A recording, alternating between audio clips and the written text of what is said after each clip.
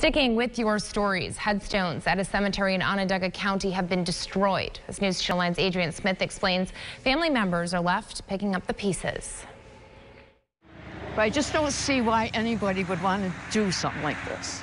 It was just yesterday when Christine Pudney received these photos. Her family members' gravestones knocked to the ground at the Bridgeport Cemetery. My mom and dad's stone, which was tipped over. My 18 month old nephew was tipped over.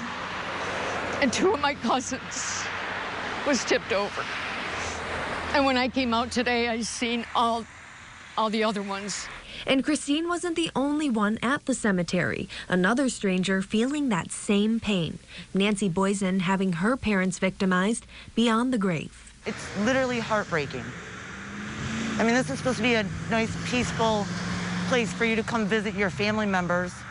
You know, that's all you have. You have memories and you want to come see them and talk to them. And both are unsure of who did it and why. Christine called police and the cemetery's caretaker, but is still searching for answers. I called the caretaker when I got home, and he was very shocked. He said this has never happened before, and he said that he would try to see if his insurance would cover it. In the meantime, she's hoping those who've passed can rest peacefully. It's like the dead can't even rest in peace. They got to still be bothered. I don't know if it was kids. I don't know if it was adults. I don't know, but I just wanted the story out there.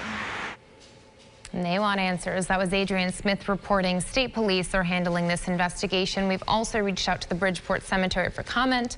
We have not yet heard back.